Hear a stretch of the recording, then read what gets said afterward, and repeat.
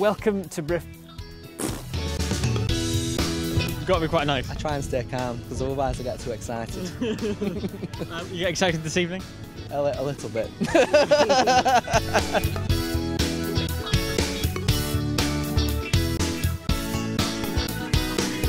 Uh, no, I'm not limited. I'm all sweaty now. Yeah. Lovely. Just like blooper reel.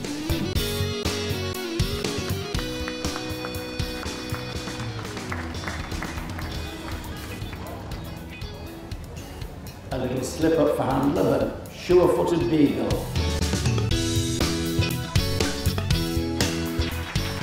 Ladies and gentlemen, thank you for staying behind to see the final. We've got through it all. Only 10 past 6, that's not bad going. We wish you a safe journey home. We hope you enjoyed. Sorry, not, not finished. Trojan, he's just wrong name for him really. he's just a big baby. And we're ready for the rosettes. The boards are out.